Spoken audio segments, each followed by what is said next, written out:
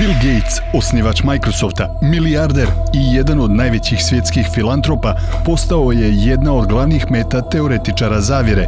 Bizarne teorije tvrde da je Gates odgovoran za pandemiju. Naučna zajednica većinski smatra da je virus nastao prirodnim putem.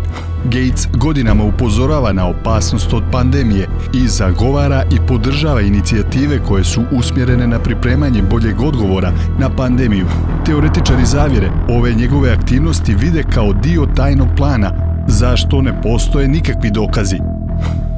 Bill Gates želi da vakcinacijom smanji broj ljudi na zemlji. Ova stara teorija zavjere kruži godinama, međutim, Gates ne želi nikoga ubiti. On nikad nije predlagao smanjenje svjetske populacije kroz vakcinaciju i razvoj zdravstva, već je izražavao nadu da će tehnološki napredak u ovim oblastima rezultirati sporijim rastom globalne populacije.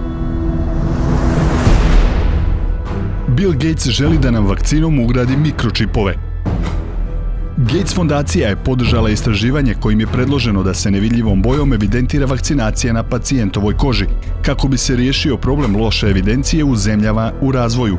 To istraživanje nije povezano sa COVID-19 vakcinom. Komentarišući američki odgovor na pandemiju, Gates je pozitivno govorio o sistemu digitalnog praćenja zaraženih koji je uradila Južna Koreja. Teoretičari zavjere su spojili ove dvije nepovezane inicijative u lažnu priču o ugradnji mikročipova. Ne vjerujte svemu što pročitate.